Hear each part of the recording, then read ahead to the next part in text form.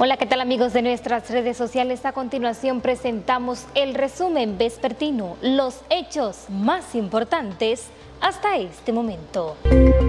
El Senado rechaza interpelar a miembros de la Cámara de Cuentas. El vocero del Partido de la Liberación Dominicana, Iván Lorenzo, formalizó hoy al Pleno del Senado una petición para invitar al Pleno de la Cámara de Cuentas a explicar las diferencias que afectan al órgano. La misma fue rechazada con 15 votos en contra y 22 senadores presentes.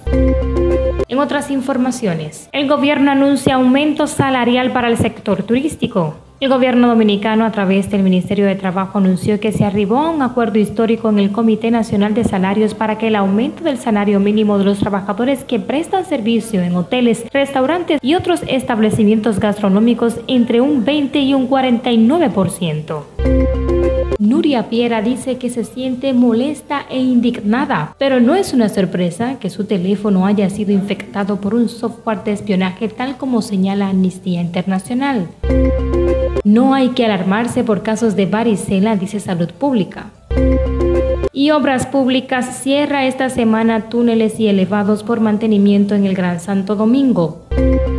En las globales, al menos un muerto y tres heridos en un tiroteo en la ciudad de Atlanta.